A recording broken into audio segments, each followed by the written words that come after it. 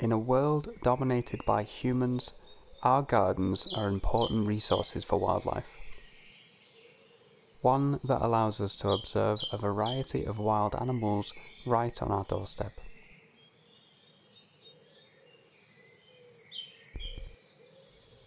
This female blackbird visits this garden for a drink and a bath every day as part of her daily routine.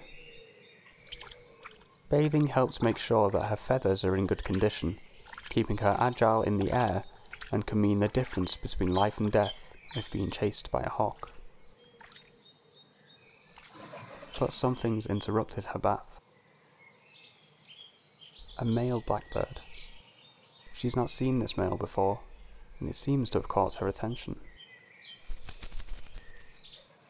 Time for a closer look. Blackbirds tend to be solitary birds, but form pairs when it's time to mate, raising their young together. Perhaps she thinks this male would make a suitable partner. His entirely black feathers, bright yellow bill and distinctive yellow eye ring are enough to attract any female blackbird.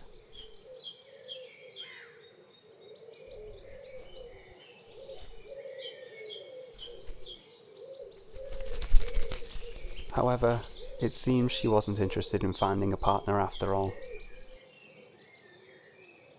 She just didn't want to share her food.